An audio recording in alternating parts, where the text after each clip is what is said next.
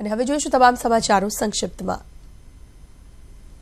જસદણમાં ચૂંટણી જંગ જામ્યો છે, ભાજપના સ્નેહ કાર્યક્રમમાં મોટી સંખ્યામાં ભાજપના કાર્યકર્તાઓ તેમજ આસપાસના લોકોએ હાજરી આપી હતી. જસદણ સભાના આકાશી દ્રશ્યો જે સામે આવ્યા છે, ડ્રોન દ્વારા લેવાયા છે, સભાના દ્રશ્યો જેમાં સભામાં ભારે ભીડ જોવા મળી હતી.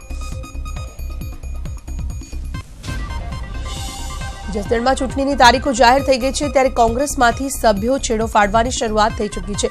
જસદણમાં કોંગ્રેસમાંથી ચૌદ સભ્યો છેડો ફાડી ભાજપમાં જોડાયા. ભાજપ પ્રદેશ પ્રમુખ જીતુ વાઘાણીની અધ્યક્ષતામાં તાલુકા પંચાયતમાંથી આઠ સભ્યો ભાજપમાં જોડાયા. રાજ્ય ચૂંટણી પંચ દ્વારા જસદણ વિધાનસભાની પેટા ચૂંટણીની જાહેરાત કરી દેવામાં આવી છે, જેમાં છવ્વીસમી નવેમ્બરે ઉમેદવારી પત્રક ભરી શકાશે. ત્રણ ડિસેમ્બરે ફોર્મ ભરવાની છેલ્લી તારીખ છે અને ચાર ડિસેમ્બરે ફોર્મની ચકાસણી કરવામાં આવશે. વીસમી ડિસેમ્બરે મતદાન યોજવામાં આવશે અને ત્રેવીસમી નવેમ્બરે પરિણામ જાહેર થશે. પેટા ચૂંટણી દરમિયાન કાયદો અને વ્યવસ્થા જળવાઈ રહે તે માટે ચૂંટણી પંચ દ્વારા ગૃહ વિભાગને સૂચના આપવામાં આવી છે. તો બીજી તરફ ભાજપ જસદણમાં મિલન યોજાયું હતું, જેમાં જિલ્લા પંચાયતના સાત જેટલા સભ્યો કુંવરજી બાવળિયાને ટેકો જાહેર કરી કોંગ્રેસનો હાથ જોડી ભાજપનો ભગવો ધારણ કર્યો. તો કોંગ્રેસ માટે આ આંચકા સમાન છે. જસદણ વિધાનસભાની પેટા ચૂંટણી જીતવા ભાજપે એડી ચોટીનું જોર લગાવી દીધું છે. રાજકોટમાં આયોજન સ્નેહમિલન સંમેલનમાં મોટી સંખ્યામાં ભાજપના કાર્યકર્તાઓ હાજર રહ્યા. કુંવરજી બાવળિયાએ જીતનો નિર્ધાર વ્યક્ત કર્યો. સાથે જ સમાજના દરેક વર્ગને વિકાસનો લાભ મળશે તેવી આશા વ્યક્ત કરી. જસદણમાં કુંવરજી બાવળિયાના જીતના નિર્ધાર સામે ગુજરાત કોંગ્રેસના મુખ્ય પ્રવક્તા મનીષ દોશીએ ભાજપ પર કટાક્ષ કર્યો. તેમણે કહ્યું ભાજપ કાવા દાવા કરી કોંગ્રેસના નેતાને તોડી રહી છે, પરંતુ જસદણની જનતા કોંગ્રેસને બહુમતી આપશે. વાઘેલાએ પણ જંપલાવ્યું છે, શંકરસિંહ જાહેરાત કરી છે કે ભાજપને પરાજિત કરવા માટે તે વિપક્ષ ઉમેદવાર માટે પ્રચાર કરશે. તો વાઘેલાએ જણાવ્યું છે કે તે કોંગ્રેસનો જે કોઈ પણ ઉમેદવાર હશે તેના માટે પ્રચાર કરશે. કોંગ્રેસના પૂર્વ પ્રદેશ પ્રમુખ ભરતસિંહ સોલંકી ફરી સક્રિય થયા છે. ભરતસિંહ સોલંકી આણંદથી લોકસભા ચૂંટણી લડવાના સંકેત આપ્યા છે.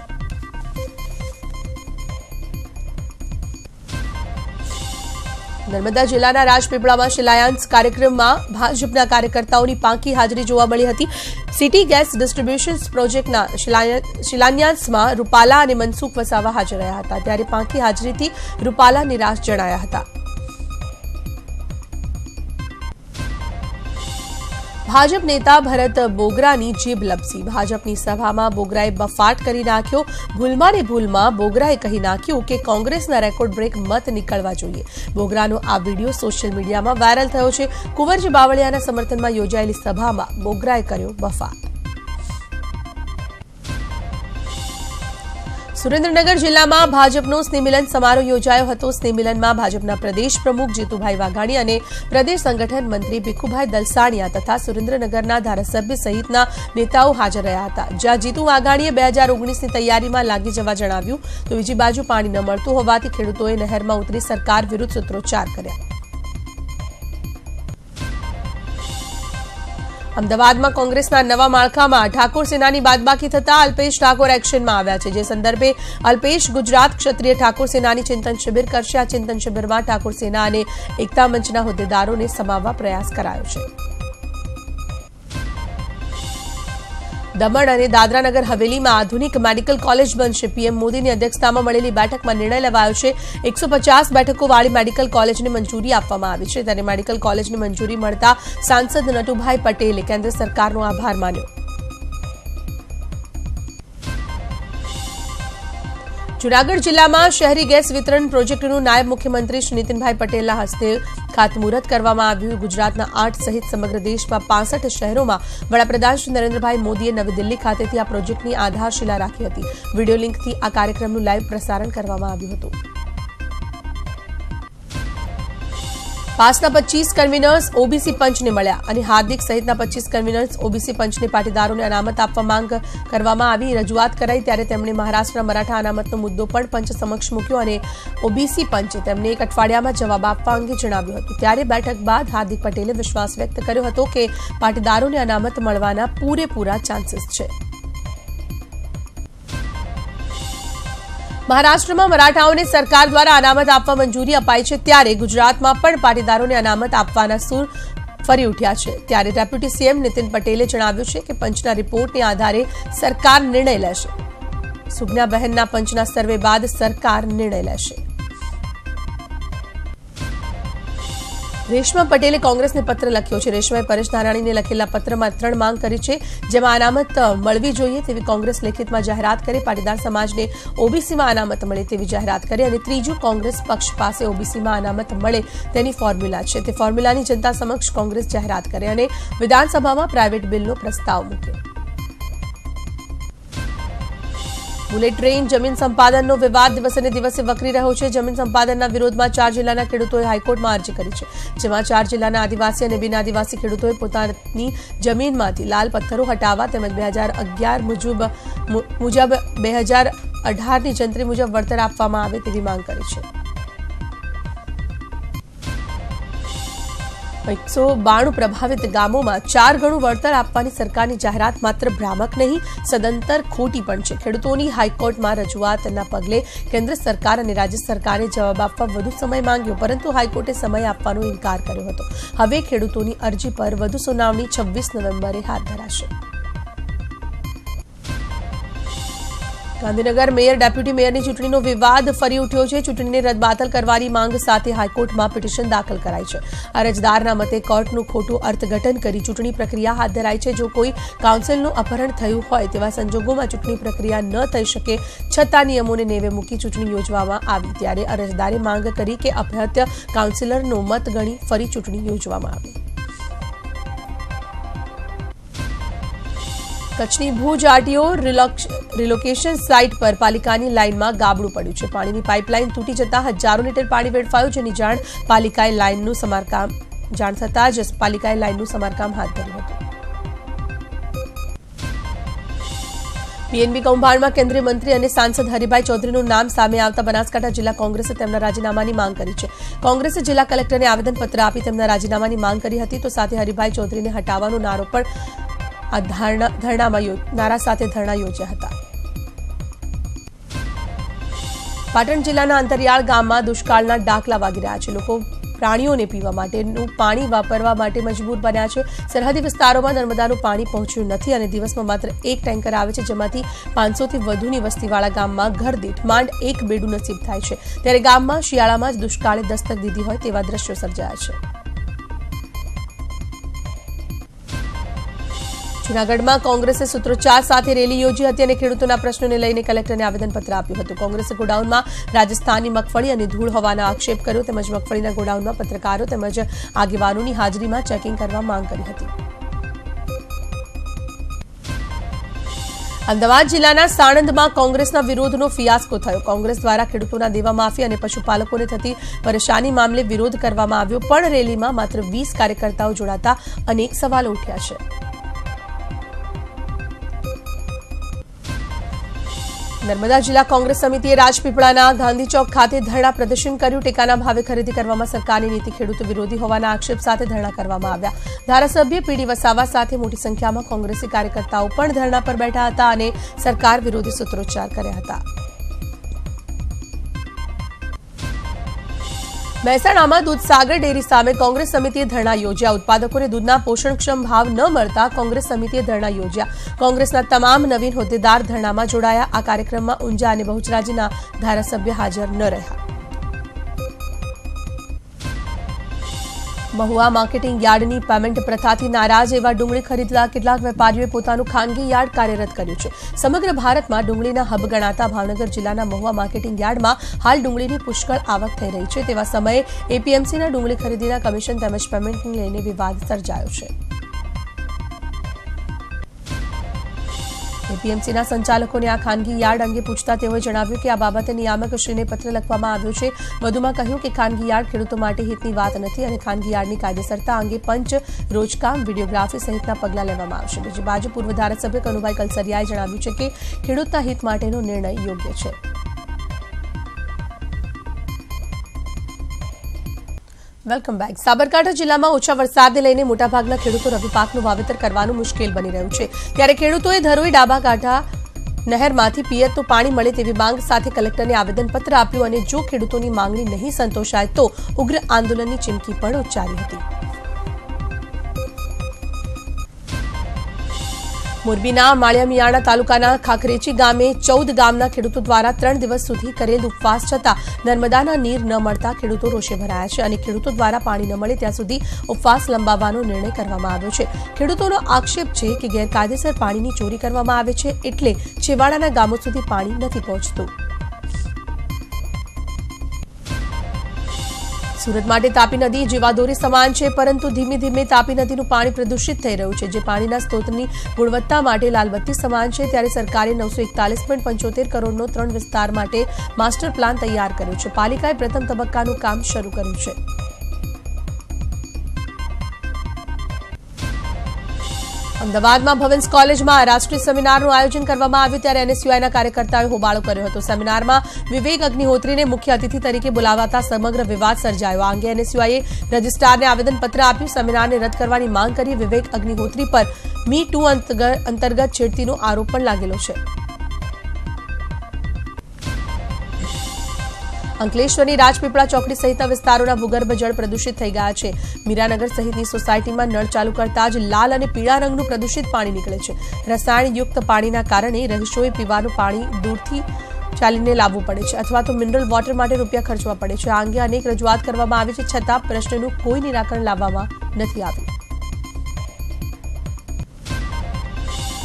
સુરતના યોગી ચોક સોસાયટીમાં ડિમોલેશન કરવા ગયેલા વરાછા ઝોનના અધિકારીઓને સ્થાનિકોએ ભગાડ્યા. શહેરના સરથાણા વિસ્તારમાં અધિકારીઓ મકાનનું ચાલી રહેલા બાંધકામને તોડી પાડવા ગયા હતા, જ્યાં સ્થાનિકોએ અધિકારીઓ પર ભ્રષ્ટાચારનો આરોપ લગાવી પાલિકાના અધિકારીઓને ભગાડ્યા હતા. સાથે અધિકારીઓ પર પૈસા માંગવાનો પણ આરોપ લગાવ્યો હતો.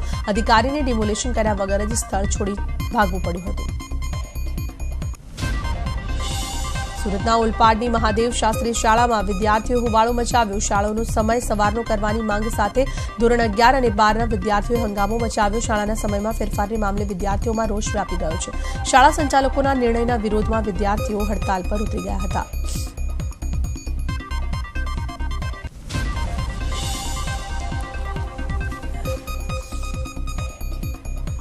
અમરેલીના ખાંભાના સમઢિયાળામાં ખેડૂતી હત્યાના સાત આરોપી ઝડપાયા છે. અમરેલી એલસીબી અને એસઓજીએ આરોપીઓની ધરપકડ કરી લીધી છે.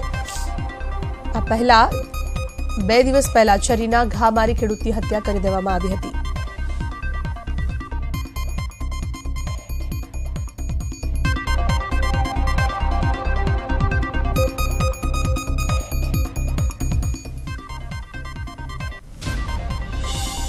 વાંકાનેરમાં સનસાઇન કોઓપરેટિવ સોસાયટી નામની સંસ્થાએ ઊંચા વ્યાજની લાલચ આપી લોકોને કરોડો રૂપિયાનો ચૂનો લગાવ્યો છે. વાંકાનેરની sunshine hitech multi state cooperative society agro and dairy limited નામની સંસ્થાએ ઉઠામણું કર્યું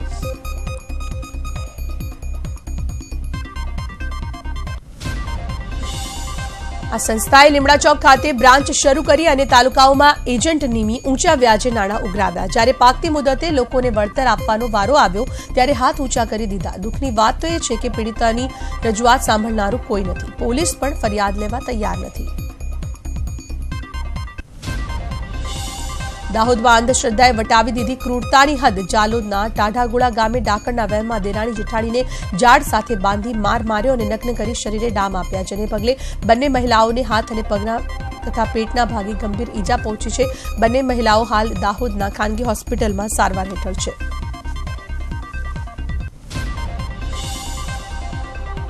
મધ્યપ્રદેશના ભુવાઈ પરિવારજનો સમક્ષ આ બંને મહિલાઓમાં ડાકણનો વાસ હોવાનું જણાવી તેમને સગા ભત્રીજાના મોતની જવાબદાર ગણાવી હતી. પરિવારજનો આ ભુવા પર આંધળો વિશ્વાસ મૂક્યો, જે બાદ બંને મહિલાઓને નગ્ન કરી શરીરે ડામ દેવાયા.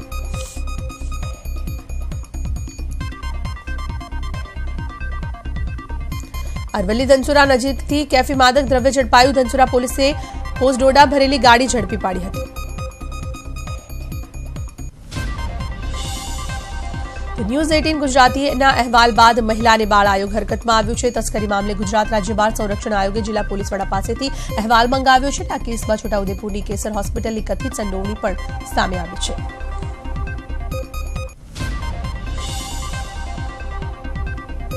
ખેડાના નડિયાદ મુગલકોટ વિસ્તારમાં ડોક્ટરને ત્યાં મેડિકલ વિભાગે રેડ પાડી દવાનો જથ્થો સીઝ કર્યો છે. આ ડોક્ટર હોમિયોપેથિક ડિગ્રી ધરાવતો હોવા છતાં એલોપેથિકની પ્રેક્ટિસ કરતા હોવાનું આરોગ્ય વિભાગને ફરિયાદ મળી હતી. ફરિયાદના આધારે આરોગ્ય વિભાગે રેડ પાડી કાર્યવાહી કરી છે.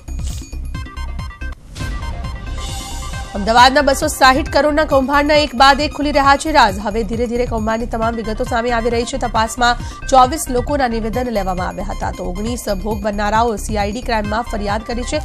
આરોપી વિનય શાહની કાર પણ કબજે કરાઈ છે. તો બે કંપનીઓની મિલકત સ્થગિત કરવાની કાર્યવાહી હાથ ધરવામાં આવી છે. સુરત ડીઆરઆઈએ ટેક્સ ચોરી કૌભાંડ ઝડપ્યું છે, જેમાં એલઈડી ટેલિવિઝન સેટ ગેરકાયદેસર ઇમ્પોર્ટ કરાતા હતા. એલઈડી પેનલના નામે ટીવી મોકલાતા હતા. સર્ચ ઓપરેશન દરમિયાન બે હજાર એકસો આડત્રીસ ટીવી સેટ મળ્યા છે, ત્યારે કુલ બે પોઈન્ટ પચાસ કરોડનો મુદ્દામાલ ઝડપાયો હોવાનું અનુમાન છે. સાથે એક આરોપીની પણ ડીઆરઆઈએ ધરપકડ કરી છે.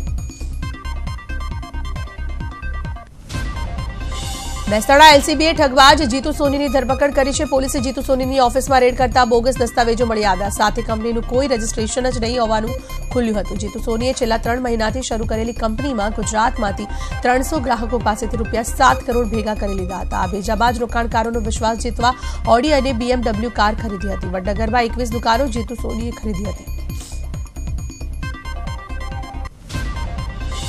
સુરતના કામરેજના અંત્રોલી ગામે મોડી રાત્રે બે બાઇકની ચોરી કરી આરોપીઓ ફરાર થઈ ગયા હતા. બાઇક ચોરીની ઘટના સીસીટીવીમાં સામે આવી છે. હાલમાં બાઇકના માલિકે કામરેજ પોલીસ સ્ટેશનમાં ફરિયાદ નોંધાવી છે અને પોલીસે સીસીટીવીના આધારે તપાસ શરૂ કરી છે. ઓગણત્રીસ જુલાઈએ લીક થયેલ ટેટના હિન્દીના પેપર મામલે તપાસનો રેલો દિલ્હી અને યુપી સુધી પહોંચ્યો. છે અરવલ્લી પોલીસે અલગ અલગ ટીમ બનાવી મોરબીથી એક વ્યક્તિની ધરપકડ કરી. ત્યારબાદ ચોંકાવનારા ખુલાસા થયા છે. પોલીસે દિલ્હીમાં તપાસ કરતા અન્ય ત્રણ વ્યક્તિની યુપીથી ધરપકડ કરવામાં આવી છે. પેપર લીકના ગુનામાં પકડાયેલા ત્રણ આરોપીઓ ટ્યુશન ક્લાસીસ ચલાવે છે. આ અગાઉ પણ રેલવેની ભરતી પરીક્ષામાં આરોપીઓએ પેપર લીક કર્યું હતું, જે અનુસંધાને તેમની સામે ઉત્તર પ્રદેશના ગૌતમ બુદ્ધ નગરમાં સાયબર ક્રાઇમનો ગુનો નોંધાયેલો છે. અરવલ્લી જિલ્લા પોલીસે ત્રણેય શખ્સોને યુપીના બાગપતથી ઝડપી પાડ્યા છે. અમદાવાદ ઐસનપુર વિસ્તારમાં એક પરિણીતાએ ફિનાઇલ પીને આત્મહત્યા કરવાનો પ્રયાસ કર્યો, જો કે તેને સમયસર હોસ્પિટલ ખસેડવામાં આવતા તેનો બચાવ થયો. આ કેસમાં યુવતીનો આરોપ છે કે તેના પતિ તેને છૂટાછેડા આપવા માટે દબાણ કરી રહ્યો હોવાથી તેને ફિનાઇલ પી લીધું અમદાવાદના રાણીપ વિસ્તારમાં એક વૃદ્ધની હત્યાના કેસમાં રાણી પોલીસે બે સગા ભાઈઓની ધરપકડ કરી લીધી છે. આ બંને ભાઈઓએ મળીને થોડા દિવસ પહેલા રૂપિયાની લેતી દેતી મામલે પંકજ શાહ નામના વૃદ્ધની હત્યા કરી હતી. ત્યારબાદ બંને ફરાર થઈ ગયા હતા. ત્યારે બુધવારે અડાલજ પોલીસે બાતમીના આધારે બંને ભાઈઓની ધરપકડ કરી હતી. ભરૂચમાં પેસેન્જર બેસાડી રિક્ષામાં સ્ટન્ટ કરતા રિક્ષા ચાલકને નંબર પ્લેટના આધારે ઝડપી પાડી તેની ધરપકડ કરવામાં આવી છે. બે દિવસ અગાઉ ભરૂચમાં સ્ટન્ટબાજ રિક્ષા ચાલકનો વીડિયો વાયરલ થયો હતો. વીડિયો ભરૂચના ટંકારિયા રોડનો હતો, જેમાં રિક્ષા ચાલક રિક્ષાનો કંટ્રોલ છોડી નીચે બેસી બહારની તરફ લટકતો જોવા મળ્યો હતો.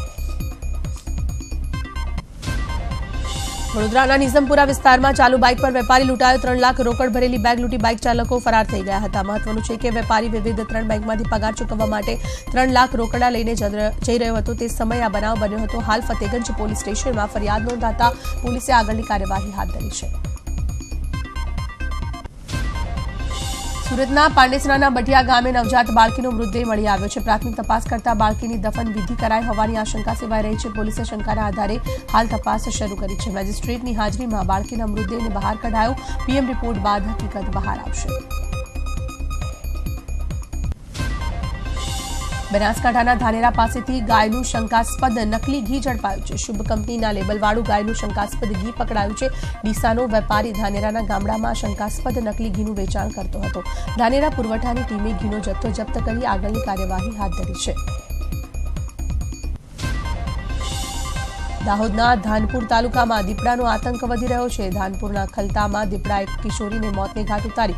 ખલતાના જંગલ વિસ્તારોમાં બકરા ચરાવવા ગયેલી કિશોરી પર દીપડાએ હુમલો કર્યો અને તેનું મોત થયું છે. અગાઉ પણ દીપડાએ એક કિશોરી પર હુમલો કર્યો હતો, જ્યાં તેનું મોત થયું હતું. બે દિવસમાં દીપડાએ હુમલો કર્યાના ત્રીજો બનાવ સામે આવ્યો છે. બનાસકાંઠાની અમીરગઢ આરટીઓ ચેકપોસ્ટ પર માછલીઓ ભરેલું જીપડાલું પલટી જતા નેશનલ હાઈવે પર માછલીઓનો ઢગ જોવા મળ્યો હતો. માછલીઓ ભરી ગુજરાતથી રાજસ્થાન જતું જીપડાલું પલટતા આ અકસ્માત સર્જાયો હતો, જો કે અકસ્માતમાં કોઈ જાનહાની થઈ નથી. જૂનાગઢના કૃષિ યુનિવર્સિટી કેમ્પસમાં એક વિદ્યાર્થીનું અચાનક મોત થતા સૌ કોઈ દોડતા થઈ ગયા છે. બીટેકના પ્રથમ વર્ષમાં અભ્યાસ કરતા વિદ્યાર્થીનું પ્રેક્ટિકલની પરીક્ષા દરમિયાન મોત થયું છે. પ્રાથમિક તપાસમાં સામે આવ્યું કે વિદ્યાર્થીનું મૃત્યુ હાર્ટ એટેકના કારણે થયું છે. વિદ્યાર્થી ભાવનગરના મોટા સમઢિયાળા ગામનો રહેવાસી છે અને તેનું નામ મનીષ ભટ્ટ છે. અમરેલીમાં સિંહના મારણનો વીડિયો સામે આવ્યો છે.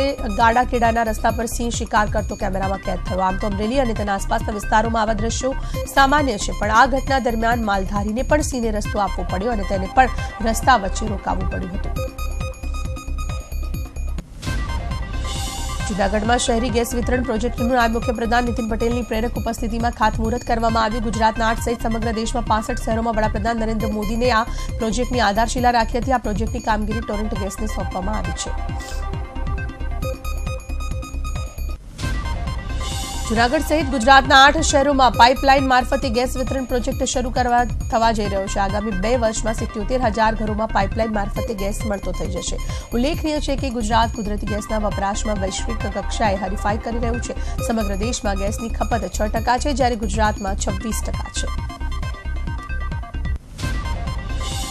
જમ્મુ કાશ્મીરમાં સરકાર રચવા માટે રાજકીય ખેંચતાણ બાદ રાજ્યપાલે વિધાનસભા ભંગ કરી દીધી છે. ત્યારે કોંગ્રેસ નેતા કપિલ સિબ્બલે રાજ્યપાલની ભૂમિકા પર અનેક સવાલ ઉઠાવ્યા છે. સિબ્બલે કહ્યું છે કે દેશભરમાં ભાજપ હોર્સ ટ્રેડિંગ કરી રહ્યું છે. ભાજપ બંધારણને અનુસરતું નથી. ત્યારે આ સમગ્ર મામલે રાજ્યપાલે સત્યપાલ મલિકે જણાવ્યું કે તેમણે કોઈની સાથે પક્ષપાત નથી કર્યો. રાજ્યમાં ધારાસભ્યોની ખરીદ ફરોખ અટકાવવા માટે આ નિર્ણય લેવામાં આવ્યો છે.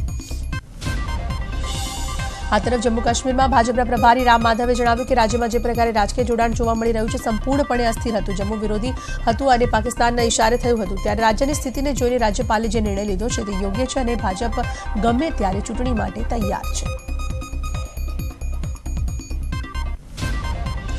તેલંગાણાના પ્રભારી આરસી ખુટિયાએ કહ્યું છે કે તેલંગાણામાં ત્રેવીસ નવેમ્બરે કોંગ્રેસના વરિષ્ઠ નેતા સોનિયા ગાંધી ચૂંટણી સભા કરવાના છે. આ રેલીમાં ટીડીપીના અધ્યક્ષ અને આંધ્રપ્રદેશના મુખ્યપ્રધાન ચંદ્રબાબા નાયડુ પણ મંચ પર સોનિયા ગાંધી સાથે નહીં જોવા મળ્યા. જેલમાં કેદીઓની દુર્દશા મામલે સુપ્રીમ કોર્ટે કેન્દ્ર સરકારને ફટકાર લગાવી છે. યુનિટેકને પ્રમોટર સંજય ચંદ્રા અને તેના ભાઈને તિહાડ જેલમાં અપાતી વિશેષ સવલતોને ધ્યાનમાં લઈ સુપ્રીમની નારાજગી વ્યક્ત કરી છે. સાથોસાથ સુપ્રીમ કોર્ટે આદેશ પણ કર્યો છે કે જ્યાં અમુક કેદીઓને જેલમાં પાયાની સુવિધા નથી થતી, નથી મળતી, ત્યારે અમુક લોકોને અલગથી સુવિધા આપવામાં આવે છે. તે નહીં ચલાવી લેવાય. સુપ્રીમ કોર્ટે કેદીઓની દુર્દશા પર ચિંતા વ્યક્ત કરતા કહ્યું છે કે જેલોમાં કેદીઓને જરૂરી સુવિધા પણ આપવામાં નથી આવતી. કેદીઓના રહેવા માટેની વ્યવસ્થા પણ ઠીક નથી હોતી. ઘણી જેલોમાં વર્ષોથી રંગરોગાન પણ નથી કરાયા. ન માત્ર એટલું પણ સુપ્રીમ કોર્ટે આગે ઉમેર્યું હતું કે જેલમાં શૌચાલય અને બાથરૂમ પણ સાફ નથી કરાતા. સાથોસાથ મહિલા કેદીઓને બાળકોને સાચવવાની વ્યવસ્થા પણ અપૂરતી છે.